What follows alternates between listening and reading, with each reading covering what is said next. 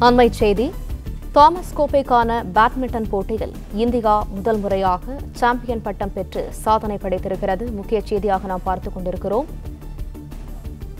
Thomas கோப்பைக்கான badminton போட்டியில் India முதல் முறையாக சாம்பியன் பட்டம் பெற்றிருக்கிறது.